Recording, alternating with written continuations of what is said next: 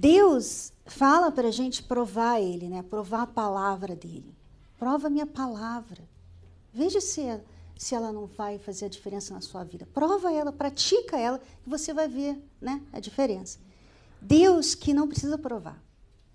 Deus que é o único, único ser vivente que não precisa provar nada para ninguém, porque já provou.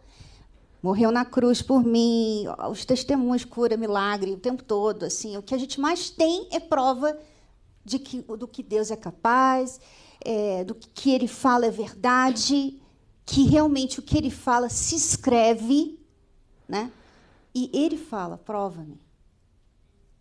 Aí a gente, eu não sei por que cargas d'água, acha que a gente não precisa ser provado. Não.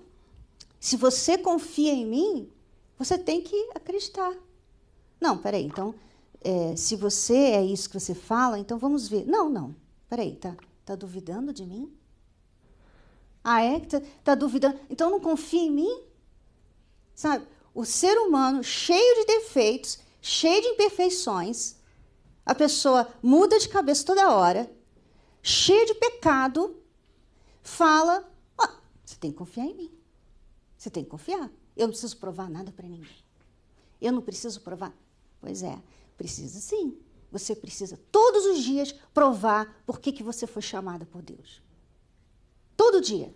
Todo dia eu tenho que provar para Deus se eu estou no altar. Todo dia eu tenho que fazer isso. Todo dia. Porque o meu coração é falho, o meu coração é corrupto.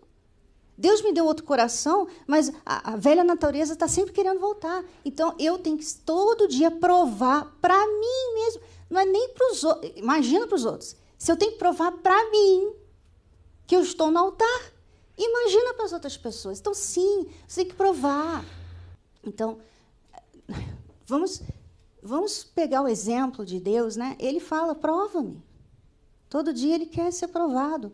Coloca a minha palavra à prova. Pratique que você vai ver que você vou, que eu vou exaltar você, que eu vou resolver seus problemas. Vai para o altar, vai com tudo para o altar, você vai ver o meu poder na sua vida. Você vai ver o fogo. Deus, Deus faz isso.